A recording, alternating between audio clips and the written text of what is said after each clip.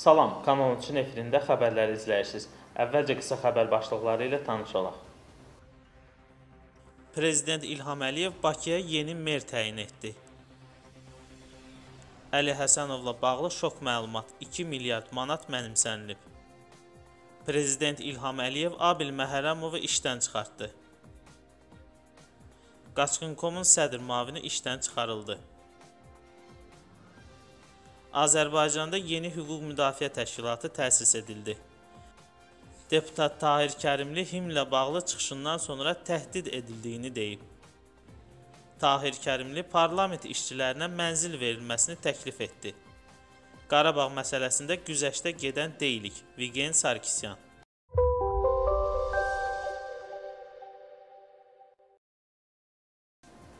İlham Əliyev Bakıya yeni mer təyin edib. Bu vəzifəyə Bakı şəhər icra başçısının müavini Eldar Əzizov təyin olunub. Prezident İlham Əliyev Eldar Əzizovla bağlı sərəncam verib. Sərəncamda qeyd olunur ki, Eldar Əzizoğlu Əzizov Bakı şəhər icra hakimiyyətinin başçısı təyin edilsin. Xatırladaq ki, Eldar Əzizov bir müddətdir ki, Bakı şəhər icra hakimiyyəti başçısının müavini kimi mer səlahiyyətlərini icra edirdi. Eldar Əzizov 2000-ci ilin iyun ayından Bakı şəhər Nizami rayon icra hakimiyyətinin başçısı, 2003-2011-ci illərdə Gəncə şəhər icra hakimiyyətinin, 2011-2015-ci illərdə Sumqayıt şəhər icra hakimiyyətinin başçısı olub. 2015-ci il sentyabr ayından Səbail rayon icra hakimiyyətinin başçısı işləyib. Azərbaycan Respublikası prezidenti İlham Əliyev Abil Məhərrəmovun Bakı Dövlət Universitetinin rektoru vəzifəsindən azad edilməsi haqqında sərəncam imzalayıb. Sərəncama əsasən Abel Məmmədəlioğlu Məhərrəmov Bakı Dövlət Universitetinin rektoru vəzifəsindən azad edilib. Noyabrın 3-də Qafqaz Müsəlmanları İdarəsinin sədri Şeyx Süləm Allahşükür Paşazadə başda olmaqla geniş tərkibli Azərbaycan nümayəndə heyəti xüsusi reyslə İspaniyanın paytaxtı Madrid şəhərinə yola düşüb. Məqsəd bu ölkədə dini tolerantlıq mövzusunda keçiriləcək beynəlxalq konfransda iştirak etmək olub. Nümayəndə heyətinin tərkibində olan və adının açıqlanmasını istəməyən şəxslərdən birinin verdiyi məlumata görə səfər başlanğıcdan sona qədər maraqlı macəralarla zəngin olub. Əvvəlcə Aribus 319A təyyarəsi ilə uçmağa hazırlaşan nümayəndə heyəti öz yerini tutduqdan sonra təyyarə 2 saata qədər havaya qalxa bilməyib. Buna səbəb isə sərnişinlərdən birinin nümayəndə heyətinin tərkibində yer alan Bakı Dövlət Universitetinin rektoru akademik Abel Məhərrəmovun 2 tonluq baqajı olub. Səfər iştirakçıları noyabrın 10-da Madriddən qaydanda da eyni hadisə ilə üzləşməyə məcbur olublar.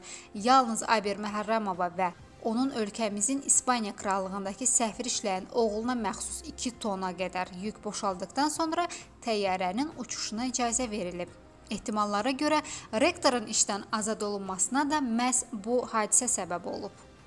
Mövzunu davam etdirək. Bakı Dövlət Universitetinin tələbə və müəllimləri arasında sorğu apardıq. Rektorunuz Abil Məhərrəmovun fəaliyyətindən razı idinizmi? Çox yaxşı insandır, çox yaxşı rektordur. Bəli. Yəni biz e, Vəzifədən vurulmağından xəbəriniz var? var. Ha, necə təəssürat bağışladı sizə bu? Yaxşı təəssürat bağışlamadı əlbəttə ki. E, Xoş idiniz onun dövründə. Rüşvət var idi. Xeyr. Xeyr. Yəni biz universitetin işçiləriyik və ondan razıydıq. Bəli. Sağ olun. Çox yaxşı insan. Vəzifəsindən vurulmağından xəbəriniz vardı? İndicə xəbərimiz oldu. Hətta dərsləri də ortada qoyub çıxmalı olduq. Çünki doğrudan da çox şoka salan bir xəbərdir. Ə, Hayıf ki, universitetin 100 illiyini görmədi belə deyək. Çünki məncə olmasaydı heç 100 ilinə qədər gəlib çatmazdı Bakı dövlət. E, Fəaliyyətindən razı idiniz. Dövründə rüşvət Fəaliyyətindən- vardı. Yox, mən jurnalistika fakültəsində oxuyaraq deyə bilərəm ki, bizdə rüşvətdən əsər əlamət yox idi. Siz Razıydıq, çox yaxşı idi. onun dövründə rüşvət Görməmişəm. Görməmişəm, eşitməmişəm yəni. Sizə nəyə görə vəzifədən vuruldu? Mənə gəlir ki, vəzifəsini qaldıracaqlarına görə artıq azad eləyiblər vəzifədən. Sağ ol. Rektorunuz Abil Məhərrəmovun vəzifədən azad edilməyindən xəbəriniz var? Var hə, amma ki, başqa məlumatım yoxdur. Bəli, mən razı idim şəxsən. Onun dövründə rüşvət qalma- qalmaqalını eşitmisiniz? Yox, eşitməmişəm. Siz sağ ol. Bəli, xəbərimiz var. Fəaliyyət dövründən razı idiniz? Bəli. Fəaliyyəti dövründən razı Aha, idiniz? bəli. Onun dövründə rüşvət qalmaqalı eşitmişdiniz? Xeyr. Qaçqın və məcburi köçkünlərlə iş üzrə Dövlət Komitəsinin sabiq sədri, Baş nazirin müavini Əli Həsənov ciddi problemlə üzləşib. Sabiq komitə sədrinin ötən dövrdəki fəaliyyəti araşdırılıb və külli miqdarda yeyintiyə yol verdiyi üzə çıxıb. Söhbət 2 milyard manat vəsaitdən gedir. Qaçqın.com-da aparılan yoxlama nəticəsində müthiş maxinasiyalar üzə çıxıb. Prezident seçkilərindən sonra qaçqın və məcburi köçkünlərlə iş üzrə Dövlət Komitəsinin sədri vəzifəsindən çıxarılan Əli Həsənov ciddi problemlə üzləşib. Sabiq komitə sədrinin ötən dövrdəki fəaliyyəti araşdırılıb və külli miqdarda yeyintiyə yol verdiyi üzə çıxıb. Üzə çıxan maxinasiyalar Əli Həsənovun milyonlarla deyil, daha böyük məbləğdə dövlət vəsaitini mənimsədiyini sübuta yetirib. Həm köçkünlərin sosial vəziyyətin yaxşılaşdırılmasına ayrılan pullardan, eləcə də mənzil tikintisindən ümumilikdə 2 milyard manat vəsait yoxa çıxıb. Məsələ prezidentin də nəzarətində olduğundan bu günə kimi həyata keçirilən bütün layihələrin detalları araşdırılıb. Prezident bu məsələ ilə bağlı sonuncu müşavirədə də sərt çıxışdan sonra ciddi yoxlama aparılır və nəticə həqiqətən də dəhşətlidir. Məlum olub ki, 2012-2015-ci illər ərzində 100 minlərlə manat dövlət vəsaiti məcburi köçkünlərin kommunal xidmətlərinin ödənilməsi adı altında yoxa çıxıb. Bu faktlar Hesablama Palatasının hesabatlarında da öz əksini tapmışdı. Xatırladaq ki, məcburi köçkünlərin işıq, qaz və sudan istifadəsində güzəştlər, yəni müəyyən limit var. Həmin ödənişləri Qaçqın.com həyata keçirir. Araşdırmalar zamanı isə bəlli olub ki, təkcə 2014-cü ildə Qaçqın.com-da bu məsələdə 250 min manat civarında yeyinti mövcuddur.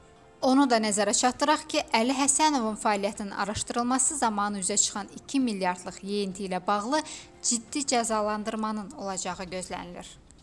Növbəti xəbərimiz də Qaçqın.com-dandır. Qaçqınların və məcburi köçkünlərin işləri üzrə Dövlət Komitəsində ciddi kadr dəyişikliyi baş verib. Dövlət Komitəsinin sədr müavini Qəray Fərhadov vəzifəsindən azad olunub.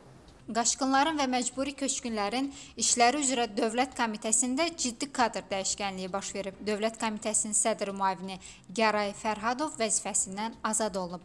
Əvəzində Sabir Əhmədov qaçqınların və məcburi köçkünlərin işləri üzrə Dövlət Komitəsi sədrinin müavini vəzifəsinə gətirilib. Qeyd edək ki, Sabir Əhmədov bu təyinatadək məcburi köçkünlərin İnkişaf Fondunun direktor vəzifəsində çalışıb. Xatırladaq ki, Gəray Fərhadov Dövlət Qaçqın.com-un sabiq sədri Əli Həsənovun kadrı idi. 2001-2009-cu illərdə qaçqınların və məcburi köçkünlərin işləri üzrə Dövlət Komitəsində şöbə müdiri işləyib. 2009-cu ilin martından bu günədək isə komitə sədrinin müavini vəzifəsində çalışıb. Azərbaycanda siyasi məhbusların azadlığı uğrunda yeni hüquq müdafiə təşkilatı təsis edilib. Noyabrın 14-də təşkilatın təqdimatı olub. Bu barədə Eldəniz Quliyev məlumat verib. Noyabrın 14-də Azərbaycanda siyasi məhbusların azadlığı uğrunda yeni hüquq müdafiə təşkilatının təqdimatı olub. Qurumun təsisçiləri Leyla Yunus, Elşən Həsənov, Hilal Məmmədov və Eldəniz Quliyevdir. Bu şəxslər həmin qurumu təsis etməklə eyni zamanda siyasi məhbusların müdafiəsi mərkəzindən çıxdıqlarını bildirib. Belə ki, onların siyasi məhbusların müdafiəsi mərkəzindən ayrılmasına səbəb Avropa işi hesabatı olub. Biz belə hesabatın hazırlanmasının əleyhinə idik, çünki qeyri-sağlam ajotaj yaranmışdı. Kimin siyasi mühacir olub olmadığını müəyyən etmək bizim işimiz deyil. Biz hüquq müdafiə fəaliyyəti ilə məşğul oluruq və siyasi motivlərlə həbs olunanların hüquqlarını qoruyur. Odur ki, qərarı aldıq ki, yeni təşkilat yaradaq və bu təşkilat ancaq siyasi motivlərin olduğu şəxslərin siyahısının tərtib edilməsi və müdafiəsi ilə məşğul olacaq, deyə Eldəniz Quliyev bildirib. Onun sözlərinə görə yeni təşkilat ancaq Avropa Şurası Parlament Assambleyasının meyarlarına əsaslanacaq. Milli Məclisin İqtisadi Siyasət, Sənaye və Sahibkarlıq Komitəsinin üzvü Vahid Əhmədov Milli Məclisin bugünkü iclasında çıxış edərək spiker Oqtay Əsədovdan xahiş edib ki, Əmək və Əhalinin Sosial Müdafiəsi naziri Sahil Babayeva insanları qəbul etməsini desin. Milli Məclisin İqtisadi Siyasət, Sənaye və Sahibkarlıq Komitəsinin üzvü Vahid Əhmədov parlamentin iclasına çıxış edərək şəhid ailələrinin Milli Məclisin qarşısına toplandığını deyib. Deputat Milli Məclisin sədri Oqtay Əsədovdan belə bir xahiş edib. Stat: Əmək və Əhalinin Sosial Müdafiəsi naziri Sahil Babayeva deyin, bu adamları bir-bir qəbul etsin və birdəfəlik başa salsın ki, bu adamlara qan pulu düşür ya yox. Yoxsa bu adamlar bizim hər dəfə qarşımızı kəsirlər, yalvarırlar, xahiş edirlər. Bu məsələni həll etmək lazımdır. Lazımdırsa bununla bağlı bir komissiya yaradaq və biz məşğul olaq. Vahid Əhmədov əlavə edib ki, nazir o adamlarla görüşə bilmirsə, vaxtı yoxdursa, bu başqa məsələ. Bu birbaşa olaraq Əmək və Əhalinin Sosial Müdafiəsi Nazirliyinə aid olan məsələdir. Məsələni də axıra çatdırmaq lazımdır. Bir müddət öncə Azərbaycan himni ilə bağlı təkliflə gündəmə gələn deputat Tahir Kərimli himn ilə bağlı çıxışından sonra təhdid edildiyini deyib. Tahir Kərimli deyib ki, indi mən Ağsu rayonunda cəmaatın üzünə necə baxım? Deputat Tahir Kərimli himlə bağlı çıxışından sonra təhdid edildiyini deyib. Bir müddət öncə himlə bağlı çıxış etdim. Burada çıxış edən zaman deputat statusuma uyğun olaraq bütün məsələlər barədə fikrimi bildirməyə səlahiyyətli şəxs kimi deyil, sanki öz müdafiə hüququmu həyata keçirən müttəhim kimi danışıram. Hamı mənə baxır və deyir ki, bunun danışmağa üzü də var. Himlə bağlı çıxışımı elə vəziyyətə qoydular ki, Bunu Milli Məclisin bugün keçirilən iclasında deputat Tahir Kərimli deyib. Tahir Kərimli qeyd edib ki, çıxışından sonra saytlarda tənqid və təhdid olunub. Stat: Sabah üçüncü qüvvə bundan istifadə edib mənə qarşı hər hansı tədbir görəndə bilmirəm kimlərinsə ürəyi sızıldayar ya yox. İndi mən Ağsu rayonunda cəmaatın üzünə necə baxım? Demədiyim sözləri adıma yazırlar. Milli Məclisin televiziyası olarsa bu hallar baş verməz. Tahir Kərimli başqa bir təkliflə də çıxış edib. O, parlament üzvlərinin çoxunun evə ehtiyacı olduğunu deyərək, onların mənzillə təmin olunması üçün vəsait ayrılmasını təklif edib.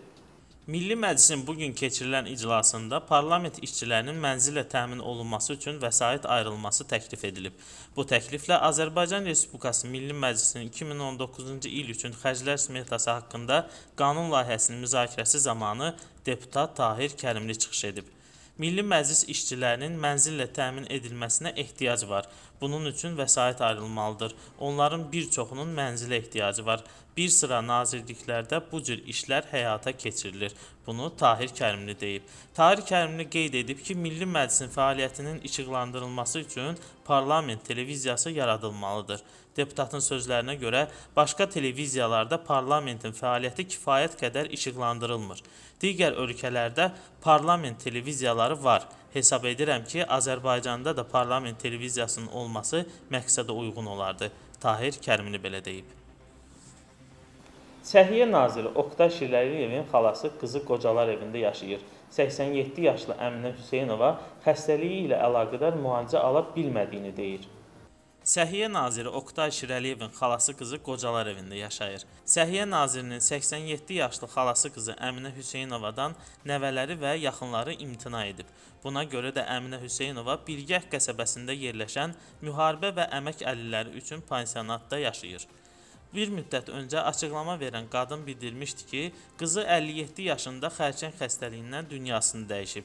Qızının ölümündən sonra iki nəvəsi qadından imtina edib. Sovet dövründə rəhbər vəzifələrdə çalışan yaşlı qadın hazırda həm də ürəyin işemik xəstəliyindən əziyyət çəkir. Əminə Hüseynova xəstəliyi ilə əlaqədar müalicə ala bilmədiyi və xəstəxanaya yerləşdirilmədiyi üçün yeriyə bilmədiyini deyib. Ermənistanın keçmiş müdafiə naziri Respublika Partiyasının sədr müavini Vigen Sarkisyan Qarabağ münaqişəsi ilə bağlı açıqlama verərək bu məsələdə heç kimə güzəştə getməyəcəklərini bildirib. Ermənistanın keçmiş müdafiə naziri Respublika Partiyasının sədr müavini Vigen Sarkisyan Qarabağ münaqişəsi ilə bağlı açıqlama verib.